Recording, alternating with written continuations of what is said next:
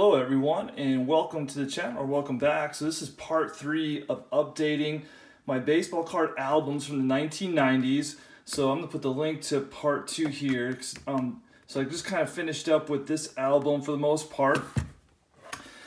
I took out a lot of the pages. You can see here's some of the, older pages. A lot of them were kind of not really are easy to see through. They got, have gotten cloudy over the past 20, 30 years. So I changed these out with a lot of newer pages, which makes a huge difference in just being able to kind of kind of see and enjoy the cards.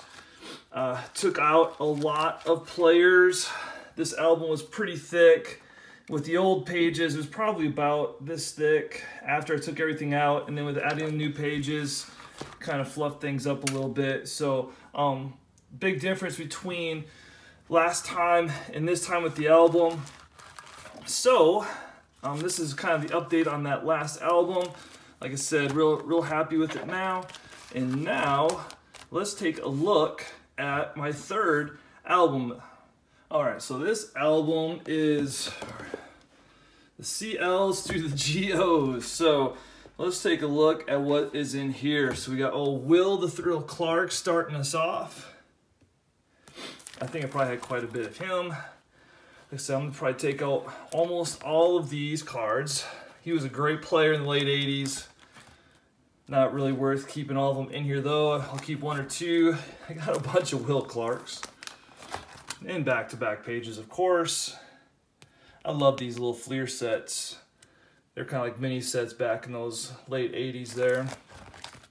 And more Will Clark. And here we go. Roger Clemens. Uh, he was one of my favorites back in during that time and era. The whole steroid um, drama really put a cloud on his career, which I hate because I was a huge fan of Clemens. I will definitely keep all these cards in this album though.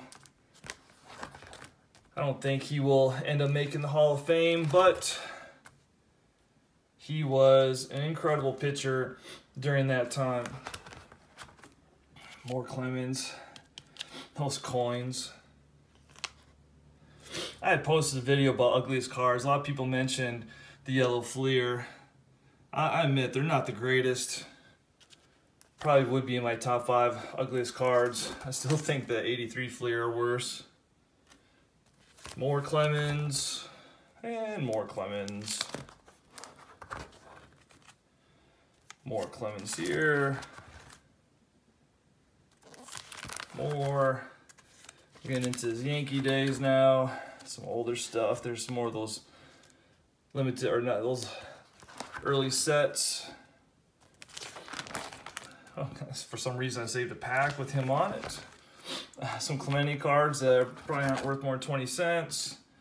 Same with the Ty Cobbs there. Oh, Vince Coleman.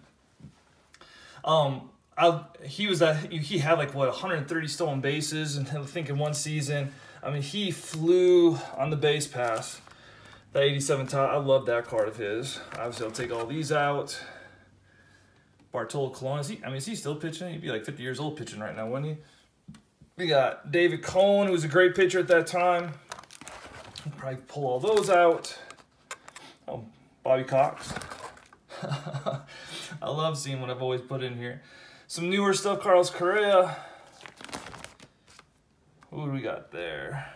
Oh, Johnny Damon, yes. Ah, Eric Davis. Man, he would have had a great career. Wasn't for so many injuries. He was a really good baseball player. I love these starting lineup cards too, by the way. Finding them in decent condition is tough. Most kids pulled those uh, the Stadium Club figures out. Probably didn't care a whole lot about the cards at those times. Andre Dawson, the Hawk. Yeah, I won't probably keep these in here. Carlos Delgado, another one. You can see I'm be pulling a lot of cards out of this album. Dennis Eckersley. Oh, is it Jim Edmonds? Yes, another really, really good player there. But don't need to keep him in the album. Darren Erstad. I think he played football at Nebraska. Pop fellow, why, why did they even put that in there? Tony Fernandez, great shortstop for the Blue Jays. Rollie Fingers, look at that mustache. How cool is this dude? Probably pulled most of these out. Carlton Fisk.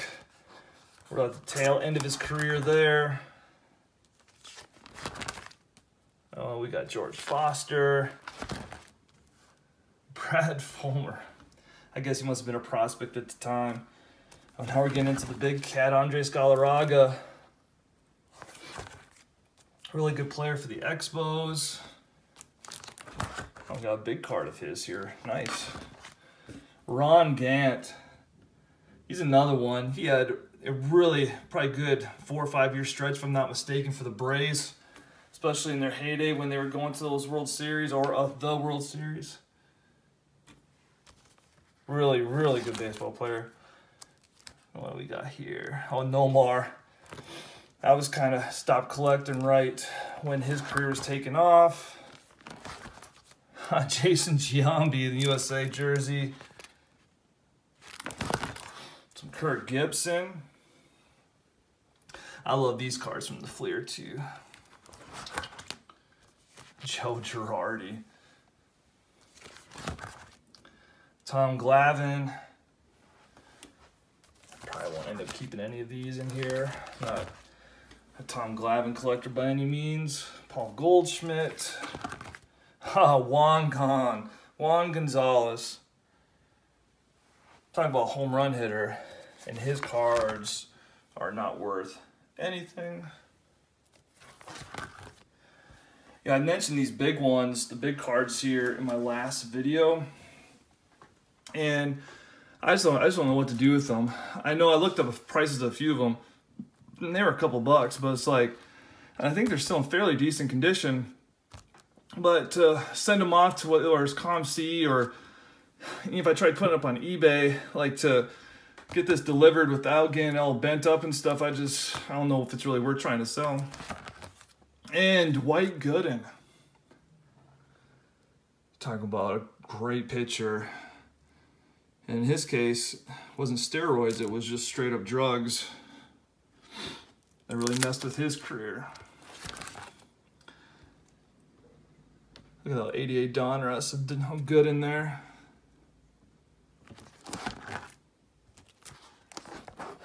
And I think that is about it.